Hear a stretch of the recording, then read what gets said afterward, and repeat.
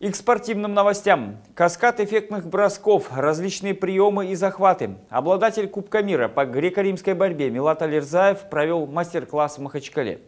В спортклубе грэплинга Universal Fighters 22-летний классик показал, как одержал свою самую громкую победу в карьере. Подробнее Курбан Рагимов. Тяните эту рукой под себя, и отсюда идет бросок.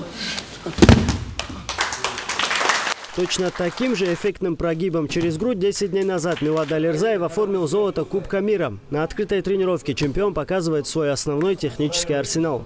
Тут встаем и скручиваем.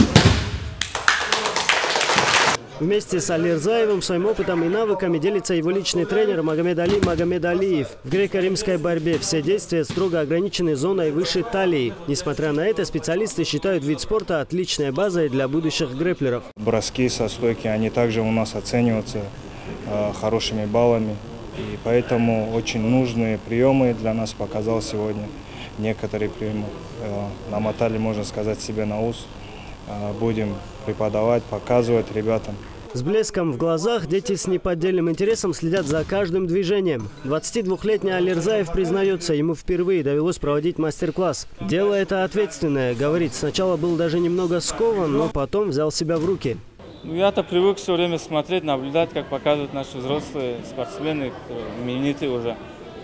Самому как-то уже непривычно, первый раз э, чуть волнуешься, не знаешь, что именно показать. Но эти дети, они у них, я видел у них искринку, можно сказать, они хотят стать чемпионами, равняются, можно сказать, на старших. И они э, хотят вырасти, стать чемпионами, как мы, то же самое. Чемпионами не рождаются, ими становятся, внушают начинающим грэплерам именитые гости тренировки. Олимпийский чемпион по боксу Гайдарбек Гайдарбеков и заммуфтия Дагестана Идриса Садулаев обратились со словами напутствия. В неформальной беседе юные спортсмены сполна воспользовались возможностью задать интересующие их вопросы, а после сделали памятные фотографии. Курбан Рагимов, Муса Салгиреев, телеканал ННТ, Махачкала.